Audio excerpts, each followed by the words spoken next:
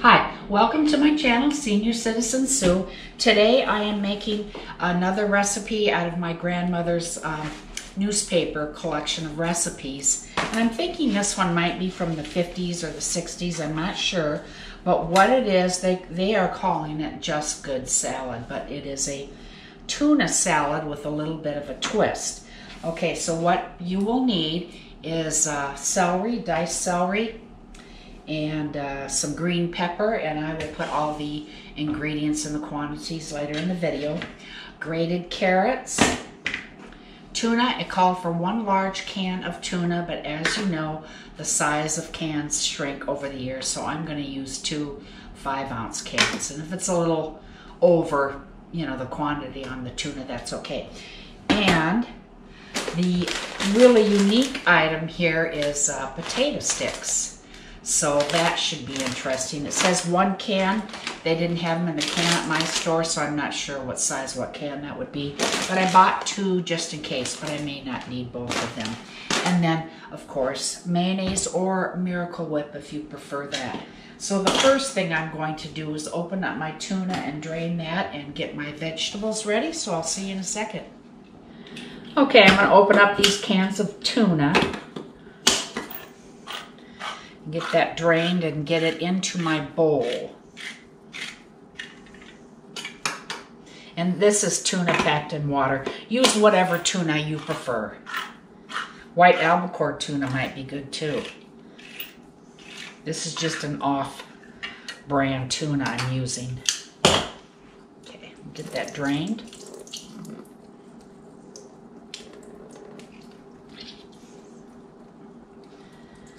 All right.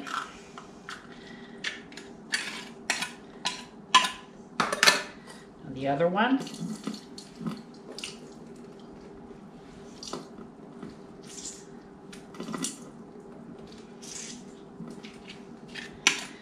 Okay, let me rinse my hands and get it into the bowl.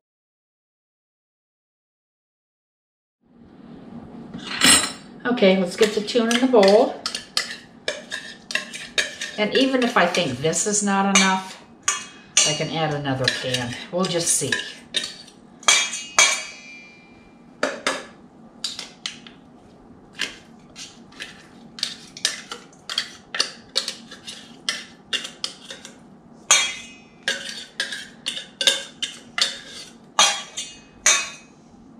Okay.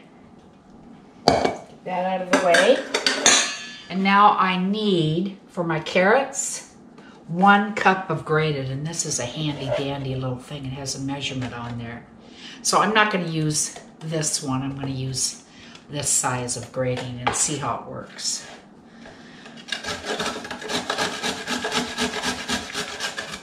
Yeah, that looks good.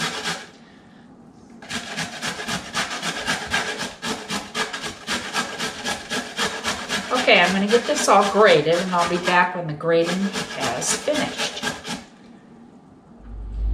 I have my one cup and this took approximately one and one half uh, large carrots. So I'll add that into my bowl.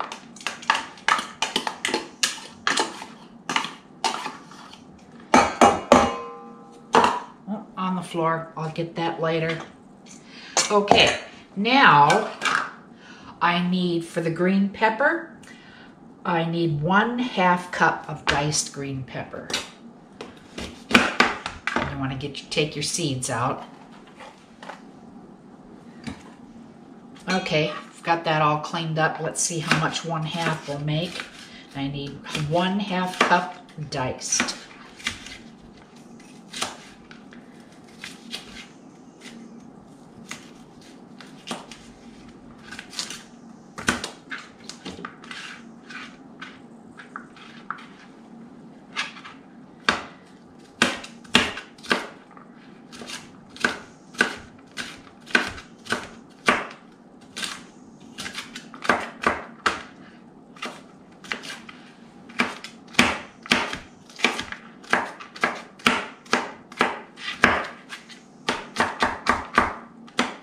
Okay, that looks pretty good. Let's see how much that is. Okay, one half of a bell pepper, medium size.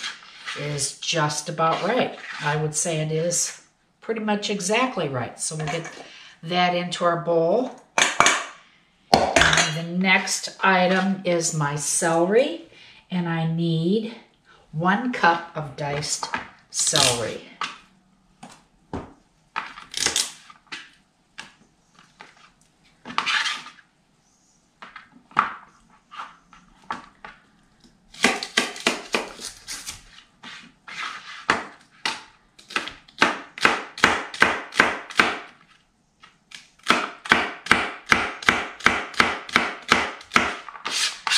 Okay, I'll probably need two stalks. I'll start to cut up the other one here.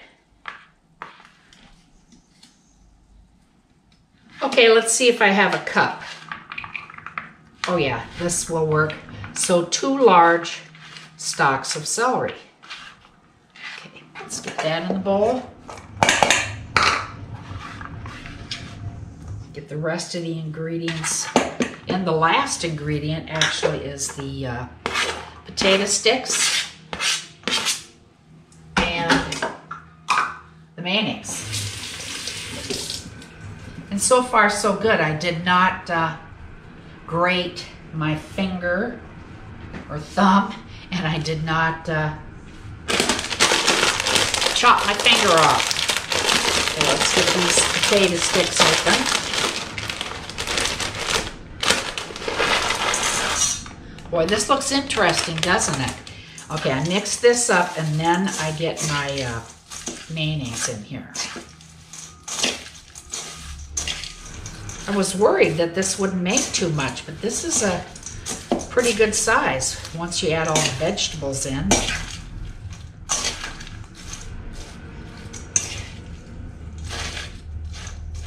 And I'm going to get a spoon here. That might be a little bit easier.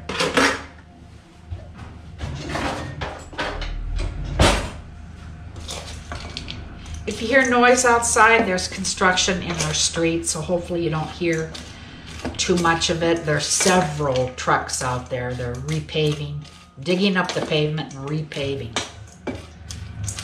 It's pretty smelly out there too, with the tar and all that. Ooh, okay, I think this is going to be good, really interesting. And I think one package, the package that I used is a four ounce package of these potato sticks. Now, um, it doesn't say how much mayonnaise to use, so I'm just going to uh, guess. This looks really interesting. And I'm thinking that this is something you might want to serve right away. I don't know how soggy these chips or potato sticks will get. Okay, let's get the mayonnaise in here. Well, there's another mess to clean up. Okay. Okay, I got a large heaping tablespoon here. I'll try two to start with.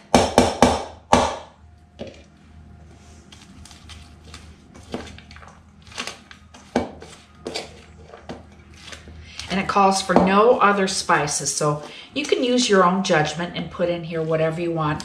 However, I do not think you will need salt because of the, uh, there's probably quite a bit of salt on these potato sticks. Let's see what this is sodium-wise. Sodium per serving, and a serving size is two-thirds cup, uh, is 110 milligrams. So I don't think you would need to add any salt in here. Pepper might be nice.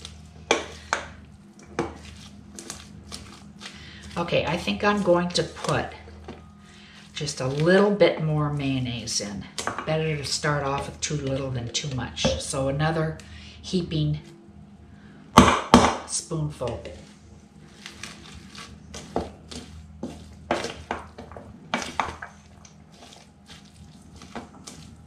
Okay, I'm gonna finish getting this mixed up, clean up my mess a little bit, and we will give this a taste. But look at it. Doesn't it look kind of pretty? Not too bad. Okay, I'll be back in a second. Okay, let me dish some up on my plate. and we'll see what this is like.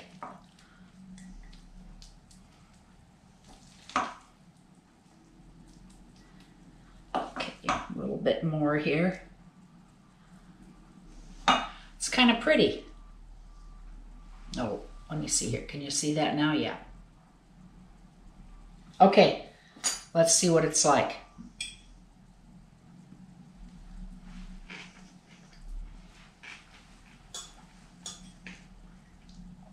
This is really good. I really like the uh, shoestring potatoes in there.